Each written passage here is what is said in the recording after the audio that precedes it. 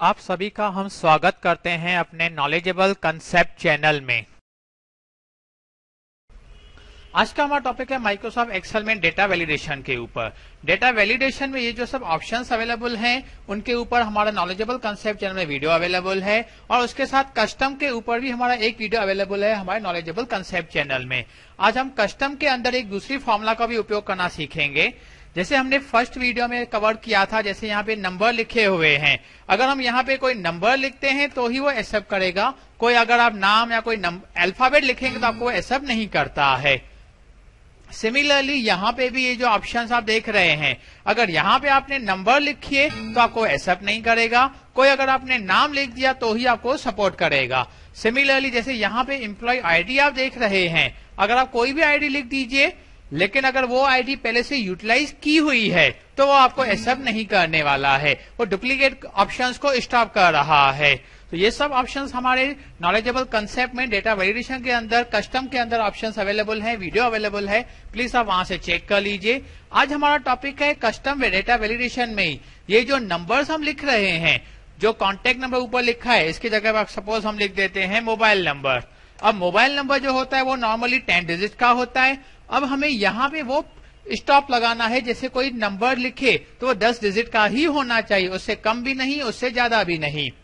तो इसके लिए आज हम कवर करेंगे, एक एंड फॉर्मूला का उपयोग करना सीखेंगे। इस नंबर के ऊपर कवर करेंगे और लेंथ फ़ंक्शन के ऊपर कवर करेंगे। अब ये क्या होता है, आइए देख लेते हैं यहाँ पे। यहाँ पे तो हमारा पहले कंडीशन रखा हुआ है, हम यहाँ पे न्यू फ़ंक्शन ऑन कर देते हैं। सपोज़ यहाँ पे हमने लिख दिया मोबाइल नंबर अगेन ठीक है? विर्थ इंक्रीज कर लेते हैं। और यहाँ से लेके, यहाँ 12 नंबर तक हम डेटा वेरिडेशन लगाने की कोशिश करते हैं। With help of these formulas and is number और लेंथ डेटा में डेटा वेलिडेशन के अंदर आए। यहाँ पे लिख देते हैं ये कस्टम ऑप्शन ठीक है? अब यहाँ पे फॉर्मूला लगानी है हमें। First of all is equal की साइन दिया। पहले लास्ट वीडियो में हमने इस नंबर के ऊपर कवर कर लिया था। इस नंबर में क्या किया था हम लोगों ने? एक बार फिर से रिवीजन ले लेते हैं। इस नंबर लिखा ब्रैकेट दिया और एक फ़र्स्ट स्टार्टिंग पॉइंट हमने बता दी। इससे क्या हुआ?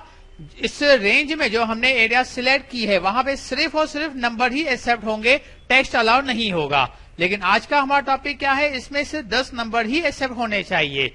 तो उसके लिए हम यहाँ स्टार्टिंग में इज़ के बाद में एंड की फॉर्मूला लगाते हैं। एंड लिखा ब्रैकेट स्टार्ट किया। एंड के लिए फ़र्स्ट ऑप्शन आ गया हमारा। अगर इस रेंज में कोई नंबर है तो ही उसे एक्सेप्ट करे ओके कॉमा लगाते हैं। अब यहाँ पे लिखते हैं लेंथ जो ये एरिया है हमारी लेंथ इसके लिए सेट कर रहे हैं। किसके लिए? यहाँ पे फ़र्स्ट ऑप्शन डी टू ही सिलेक्ट किया। ब्रैकेट ओवर करके इज़ इक्वल की साइन लगाया और नंबर टेन लिख दिया। और फाइनली ब्रैकेट क्लोज कर देते हैं, जो हमने स्टार्टिंग में यूज़ की हुई है एंड के लिए। बस ओके okay, कर दिया, हो गया। अब आप यहाँ पे कोई भी नंबर लिख दीजिए। देखिए एक्सेप्ट नहीं करने वाला है। अभी वो आपको सिर्फ़ और सिर्फ़ टेन डिजिट का ही नंबर एक्सेप्ट करेगा। आप कोई अल्फ़ाबेट कोई नाम लिख दीजिए तो भी एक्सेप्ट नहीं कर रहा है। हम नंबर लिख देते हैं। One two three four five six okay हो गया nine digit sorry ten digit enter किया एक्सेप्ट हो गया। और अगर यही सेम डिजिट हम फिर से यूटिलाइज कर रहे हैं, लेकिन एक नंबर और दे दिया। हो गया? एरर दे रहे क्यों एरर दे रहे क्योंकि अभी हमने इलेवन डिजिट लिख दिए हैं और इसको कितने डिजिट चाहिए? जस्ट अभी टेन डिजिट ही उसको एक्सेप्ट करना है। हुआ? हमने क्या फॉर्मूला का उपयोग कर दिया है यहाँ पे? First of all is equal की साइन दी। हम इसके सामने लगा देते हैं। इज़ इक्वल की साइन दी। पहले लिखा हमने एंड एंड लिखा ब्रैकेट स्टार्ट किया। एंड में पहला हमारा लॉजिकल टेस्ट क्या है? इज़ नंबर के ऊपर। इज़ नंबर पहले तो ये चेक करेगा, ये जो ऑप्शन है, वो नंबर है या नहीं है? ब्रैकेट ओवर किया। अब हम कॉमा देते हैं।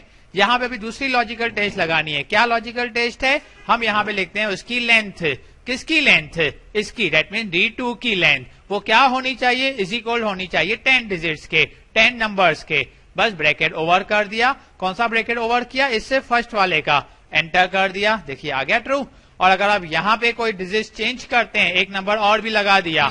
एरर भी दे रहा है और यहाँ पे फॉल्स भी दे रहा है। ज़रूरी नहीं आप यहाँ पे जैसे हम F2 लगाते हैं लास्ट में हमने क्या लिखा है? Is equal to ten digit लिखा है ना? आप चाहे तो यहाँ पे लिख दीजिए लेस देन टेन तो इससे क्या होगा? प्रॉब्लम क्या हो जाएगा?